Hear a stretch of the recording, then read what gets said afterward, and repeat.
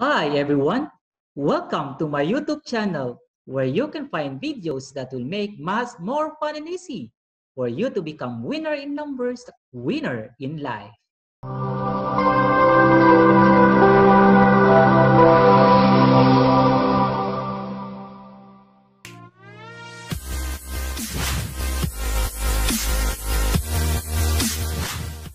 In this video, I'm going to present to you how to add mixed numbers. So let us begin by defining what is a mixed number. So to help us out, let us take a look at these illustrations. Based on the illustrations, we can see that we have three circles and each of the circles is divided into four equal parts. And then some parts are shaded with red. So let us count the total number of parts that are shaded in red. Let us start with the first circle. Looking at the first circle, we can see that all the four parts are shaded with red.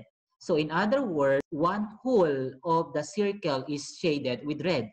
The same thing also with the second circle. All the four parts are shaded with red. So in other words, one whole of the second circle is also shaded in red. So all in all, we have now two whole are shaded with red. But looking at the third circle, only one part is shaded with red. And the fraction that represents the part that is shaded with red is one fourth. So we have already here 2 plus 1 fourth to give us 2 and 1 fourth. So in other words, 2 and 1 fourth of the circles are shaded with red. So 2 and 1 fourth is an example of a mixed number. So a mixed number comprises of a whole number in which in this case we have 2 as our whole number. And we have also the fractional part, which in this case we have 1 fourth. In other words, a mixed number simply shows to us the result of adding a whole number and a fraction.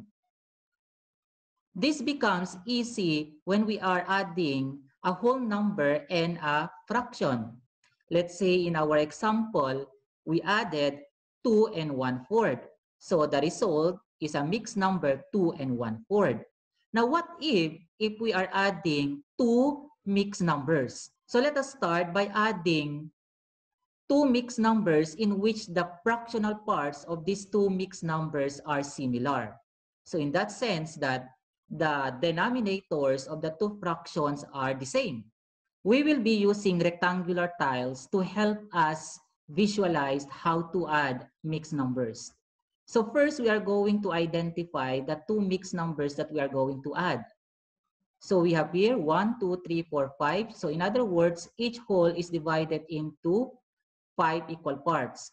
Since all the parts are tiled with red, so in other words, this is one whole. Another one whole. So 1 plus 1 is 2. But this one, only two parts are tiled. So 1, 2, 2 out of 5 or 2 fifths. So 2 plus 2 fifths is equivalent to 2 and 2 fifths plus 1, 2, 3, 4, 5. So all the 5 are also tiled with green. So one whole. But here we have only one part is tiled. So 1 plus 1 fifth is equivalent to 1 and 1 fifth. Let us put together these red tiles and the green tiles and let us find out how many parts can these tiles be covered. So we'll put this down.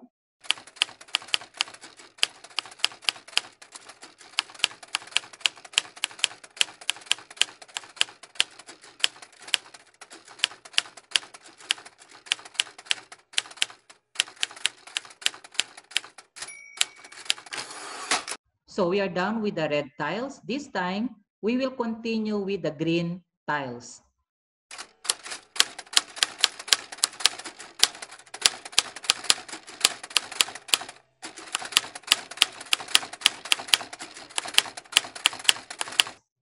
We have only covered 1, 2, 3, and 3 fifths. So in other words, when we add 2 and 2 fifths plus 1 and 1 fifth, it will give us 3 and 3 fifths. So what do the illustrations tell us? The illustrations tell us that when we are adding mixed numbers with similar fractional parts, first, we have to add the whole numbers of the addends. So in this case, we will add 2 plus 1 to give us a sum of 3. So the sum will be the whole number of our answer. And then we can add now the fractional parts of the addends. We have 2 fifths and 1 fifth. Following the rules in adding similar fractions, in which when we are adding similar fractions, we just simply add the numerators. So in this case, 2 plus 1 will, will give us 3. So, and then copy the common denominators, which is 5. So the answer is 3 fifths. So when we are adding 2 and 2 fifths plus 1 and 1 fifth will give us 3 and 3 fifths. This time, we shall have another example. Let us take a look at these two mixed numbers being represented by the yellow tiles and the blue tiles. So the yellow tiles represent the mixed number 1 and 3 fourths plus the blue tiles represent the mixed number 2 and 3 fourths. So in other words, we are going to add 1 and 3 fourths plus 2 and 3 fourths. So let us join together or put together the yellow tiles and the blue tiles.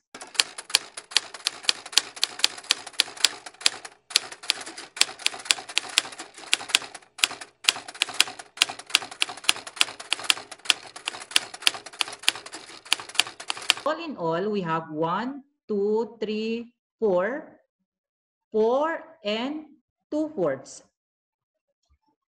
So when we add 1 and 3 fourths and 2 and 3 fourths, it will give us 4 and 2 fourths. But let us take a look at the fractional part of our sum, which is 2 fourths. This one. The 2 fourths is just equivalent to 1 half.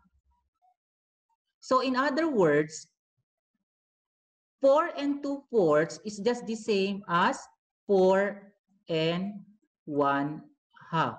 Therefore, our final answer is 4 and 1 half. This time, we shall have addition of mixed numbers in which the fractional parts are not similar. Let us take a look at these illustrations. And 1 plus 1 half, we have 1 and 1 half plus 2 and 1 third. So in other words, we are going to add the mixed numbers 1 and 1 half and 2 and 1 third. So let us try to combine together the violet tiles and the orange tiles. But this time, we have to make sure that no part or parts of the tiles outside of the given figure. So let's start with the violet. Okay, one whole of the figure is covered. Okay, so we are done with the violet. This time, we will continue with the orange. One, two. The moment we will continue with the orange after the first tile, we notice that there is an excess. Actually, it's half of the orange tile is outside of the illustration or figure.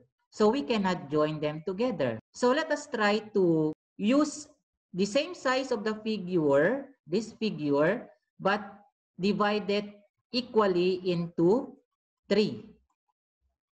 So we'll put together the violet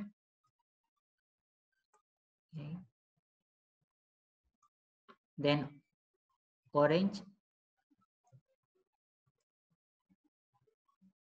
If you notice still, one half of the orange tile is outside of the figure.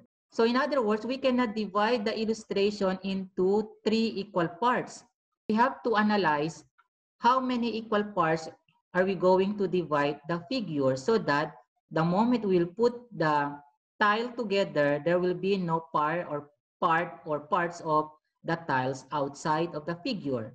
So let us try to put them side by side. So we have there. So in other words, we have two violet tiles equivalent to three orange tiles. Looking at the partition here, we can say that we can cut this tile into two equal parts. When we cut this into two equal parts, this one is also into two equal parts. This one is, is also two into two equal parts. We have one, two, three, four, five, six. So in other words, we need to cut the figure into six equal parts. For the violet, if we will cut this into six equal parts, we need to cut this into three equal parts. One, two, three, three equal parts for a total of six equal parts. So our new illustrations would be like this. So we can see here, one whole of the figure, one whole of the figure, the value remains the same, but the appearance is not because this one here is divided into two equal parts, but here it is divided into six equal parts. So what is now our new mixed number? From one and one half, it is now renamed as one and three six. For the orange tiles, from two and one third, two and two six. So when we are adding 1 and 1 half and 2 and 1 third, we can rename the mixed numbers into 1 and 3 6 and 2 and 2 6 respectively. So we can now add our mixed numbers. So we'll try to combine them together.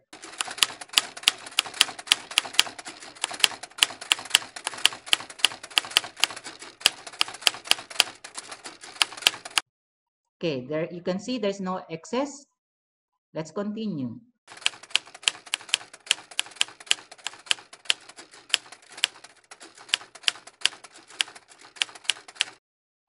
Okay, there. So we are done putting together the violet and the orange tiles. So all in all, we have one, two, three. So we have three, and then 1, 2, 3, 4, 5. So we have 5 over 6. So in other words, when we add 1 and 1 half plus 2 and 1 third will give us 3 and 5 6 since the fractional part is already in the lowest term, so this is our final answer. Without this model, we can also find the sum of 1 and 1 half and 2 and 1 third using computations following the rules in adding mixed numbers with the similar fractional parts. So let us have this one. So the same given 1 and 1 half plus 2 and 1 third. So when we add mixed numbers having dissimilar fractional parts, we have to start adding with the whole numbers. So in this case, we are going to add 1 and 2. So we are going to add 1 plus 2 to give us 3. Then next, we are going to add the fractional parts, which are 1 half plus 1 third. Remember, 1 half and 1 third are dissimilar fractions. So before we can add them, we have to make them similar by finding the LCM of their denominators and use that and use that LCM as their common uh, denominator. So the, the LCM of 2 and 3 is 6. So in other words, we have to rename this 1 half into its equivalent fraction in which the denominator is 6. The same way also, we have to rename this one-third into its equivalent fraction in which the denominator is 6. Remember that 6 is the LCM of the 2 and 3 or their or the denominators of 1 half and 1 third. So how are we going to identify the numerators of these two fractions? First, we have to identify the numerator of the fraction equivalent to 1 half. So take note that for these two, that for this denominator 2 to become 6, we have to multiply it by 3. So 2 times 3 is equal to 6. So we have also to multiply our numerator 1 here by 3. So 1 times 3 is equal to 3. Next, we have to identify also a number to, to multiply to 3 to become 6. We have to multiply it by 2. So the same manner, we have to multiply also our numerator 1 by 2. So 1 times 2 will give us 2. So we have now 3 6, which is equivalent to 1 half, plus 2 6, which is equivalent to 1 third, will give us 5 6. So our whole number is 3, plus our fraction 5, 6 will give us plus 5, 6 will give us 3 and 5, 6. So it is now your turn to answer the following exercises. All you have to do is to find the sum of the following mixed numbers. Number one, 3 and 2 nines plus 2 and 4 nines. Number 2, 4 and 1 6 plus 1 and 3 fourths. So you can comment your answer on my social media accounts given below. And take note that the first one to comment with the correct answer will get a shout out on my next video. Thank you for watching. I hope you have learned and enjoyed watching this video. But again, don't forget to like, share, subscribe, and click the notification bell for you to be notified every time I have a new video. Thank you.